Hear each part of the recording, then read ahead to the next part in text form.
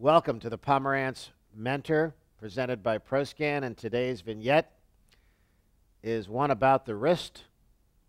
We'll specifically address tunnel syndromes, the carpal tunnel. Now, I'm not here to I'm not here to sell you on MR as a test to diagnose carpal tunnel syndrome, especially those of you primary care physicians that are out there listening. The diagnosis of carpal tunnel is a clinical one and is one that is also made with an EMG.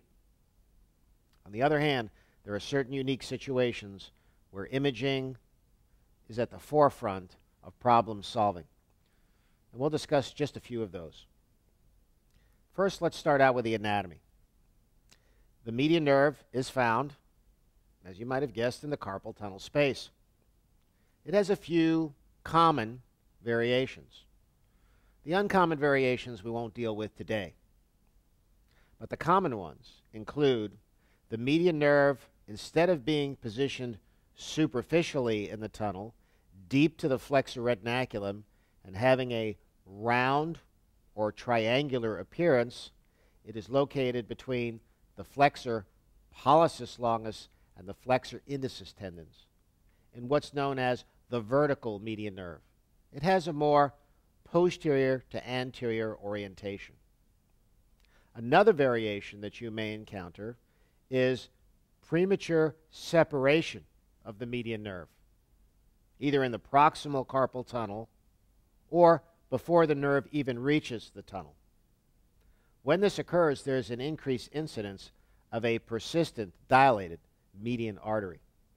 This is important because if there's a vessel traveling with this bifid median nerve, it can be accidentally cut and bleed excessively.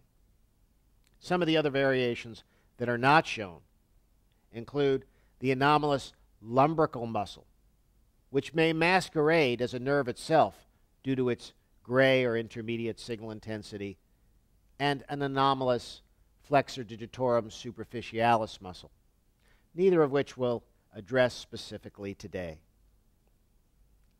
Here are some cross-sectional water-weighted MRI images of the proximal tunnel at the level of the pisiform bone and the distal tunnel at the level of the hook of the hamate. Now, even though some texts describe that one of the MR signs of carpal tunnel syndrome is dilatation at the pisiform level and compression at the hamate level, we have found this to be highly unreliable since normally the nerve is a little more dilated at the pisiform level and a little more flat at the hamate level. And that's indeed the case. With high resolution, you can even see the fascicles of the nerve. The nerve, in this case, divided up into two bundles or fascicles separated by a thin membrane. Lying over top of it is a curvilinear arc-like or dark signal intensity, the flexor retinaculum, the superficial boundary of the carpal tunnel space, which is also highlighted with white arrows. Within this space lies the flexor digitorum superficialis and the flexor digitorum profundus tendons, along with the flexor pollicis longus tendon. But outside the tunnel sits the flexor carpi radialis. There is also a deep transverse carpal ligament. Within the carpal tunnel, although not seen, is fat, better seen on the T1 weighted image. At the level of the hamate hook and the trapezium, the flexor retinaculum is a little bit thicker and a little flatter or a little tighter. Therefore, the median nerve is also itself a little flatter. You can see the median nerve dividing up now into two separate bundles just prior to its bifurcation. The flexor tendons are surrounded by thin, slightly hyperintense sheaths. These sheaths may thicken and become more hyperintense, and this is a reliable sign of clinical carpal tunnel syndrome the amount of hyperintensity that one sees on these two examples is a demonstration of a normal sheath thickness. Here's what you might see in somebody with chronic carpal tunnel syndrome. Extreme thenar muscle atrophy with fatty replacement and or metamorphosis. This patient also demonstrates the phenomenon of the vertical median nerve. It is located between the flexor indicis tendons and the flexor pollicis, with the flexor carpi radialis sitting outside the tunnel. The nerve having a somewhat vertical orientation and on a T2 spin echo image, which is mildly water weighted, the nerve is of gray or intermediate signal intensity, and this is normal. If we look at a patient with clinically symptomatic carpal tunnel syndrome, we may see bowing, bowstringing, or palmar displacement of the flexor retinaculum. The nerve may look a little larger. This particular nerve shows the individual nerve bundles within the sheath of the median nerve. Although the nerve is slightly swollen or increased in contour, it is very difficult to use the signal intensity of the nerve in the carpal tunnel space unless it's hyperintense on a typical T2 spin echo image. On proton density fat suppression images, though, I tend not to use the nerve signal intensity for diagnosis. On this same image, we can see the sensory supply to the hand. Very basic, as part of normal gross anatomy. The sensory supply to the outer two and a half fingers on the dorsum of the hand, supplied by the ulnar nerve in red. The fingertips, supplied by the median nerve on the back of the hand, although a little bit of the fourth fingertip is also supplied by the radial nerve. On the back of the hand, three and a half fingers, with the exception of the fingertips, is supplied by the radial nerve. On the palmar aspect of the hand, a little bit of the thenar eminence has its sensory supply by the radial nerve. The three and a half fingers on the radial side, all the way to the fingertips, supplied by the median nerve. And the sensory supply to the pinky and half of the fourth digit supplied on the palmar surface by the ulnar nerve. Now, we said that MR is not the primary test for carpal tunnel syndrome, but it is an excellent problem solving tool in postoperative failed carpal tunnel disease or somebody who has a successful surgery and the symptoms become recrudescent. Here is a proton density spur, and for those of you that are not imagers, this is a highly water weighted, water sensitive sequence. The median nerve is going to be somewhat hyperintense, even in the normal state.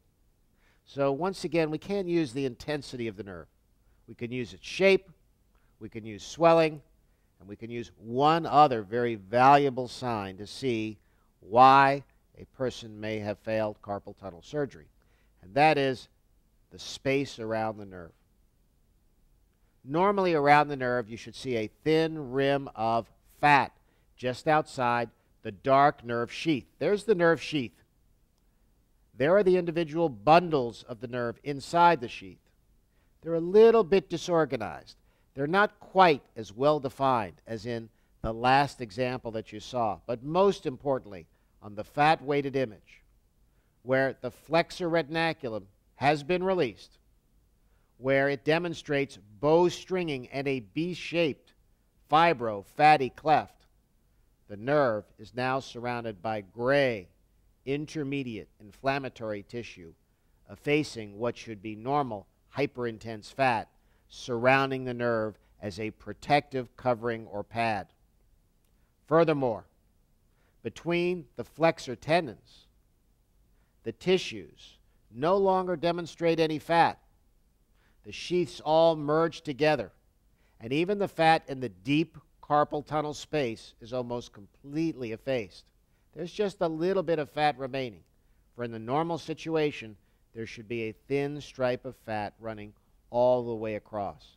So this patient's failed carpal tunnel surgery is not for lack of trying by the surgeon, where the release is complete and well performed.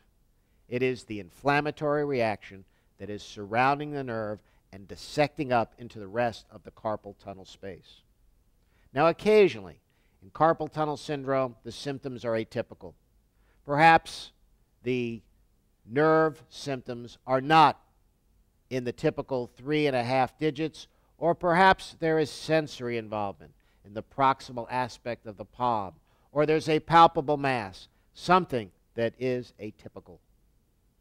In this short axis view, this patient who has a palpable lump in the distal carpal space demonstrates lobulated intermediate T1 and high signal intensity varices as the cause of their atypical carpal tunnel syndrome.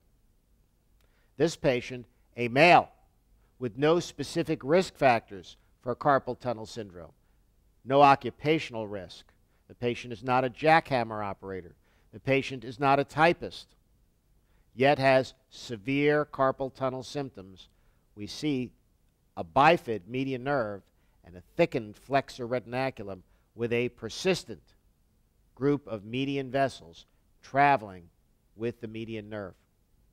So in this patient, it was an anomaly that led to the patient's symptoms, which were unusual for the fact that he was a man, he was a young man, and he had no known significant risk factors.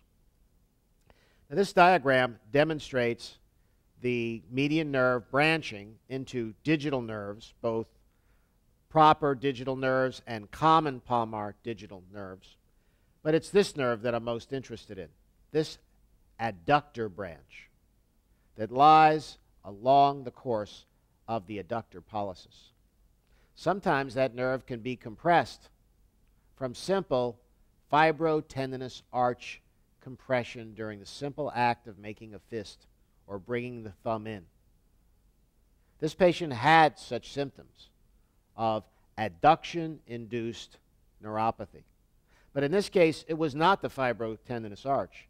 It was a large, round, hyperintense mass seen in the short axis T2 weighted image and seen in the long axis water weighted proton density spur images that demonstrate a lobulated mass with a tail consistent with a ganglion pseudocyst. So, in summary, MR is not the primary test for a simple case of carpal tunnel syndrome in a person in whom you'd expect it, like a woman who's using a mouse or is typing or a jackhammer operator, but in somebody with atypical carpal tunnel syndrome or somebody with unusual demographics or a palpable mass or failed carpal tunnel surgery. This would be an appropriate use for MR. And the best signs to evaluate for carpal tunnel syndrome are a change in the contour or size of the nerve, signal around the nerve effacing the peritendinous fat, swelling of the flexor sheaths, but the signs of dilatation at the level of the pisiform and compression of the, at the hook of the hamate are of limited utility. Thanks and have a great day.